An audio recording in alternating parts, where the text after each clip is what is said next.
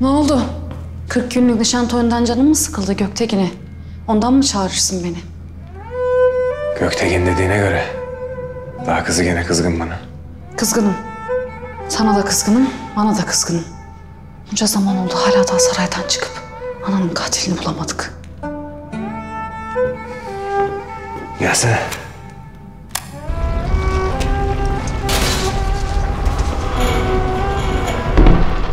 Yürürken söylenirsin. Söylenmem ben. Uzun dur dersin durun. Önce ellerini verirsin, bekle dedin, bekledim. Kimseye bir şey etme dedin, etme. Bak, bileği bile dövmedim. Ama yeter artık. Hem dışarıda nişanın var, sen nişanlının yanında duracağını, burada benimle tüneller... Tut şunu.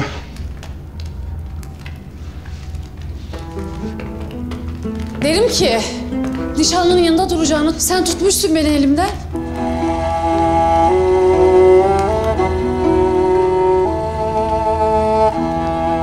Gideriz?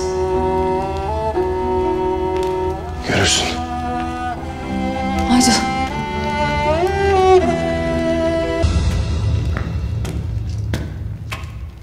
Tünel mi kazarız? Onca zaman çağırdım gelmedin. Kendi nişan toyunda mı kazacağın tuttu?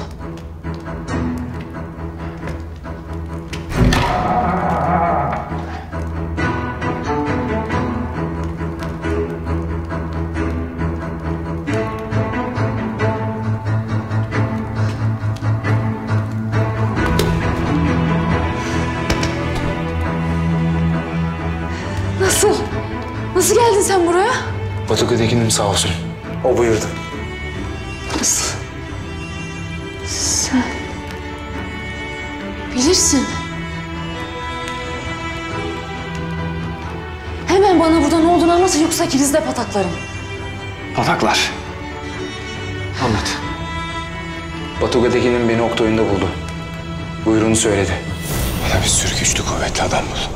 Saraya dışarıdan tünel kazacaklar. 30 gecedir ormandan buraya gizli keçiti kazarız. Bugün bitti. Künatay'la Börte dışarıda bekler. Neden söylemedin? Ellerin yanıp tatoya katılamayınca çok üzülmüştüm ben de yine bir aksilik çıkarsa. Üzülmeyesin diye demedim.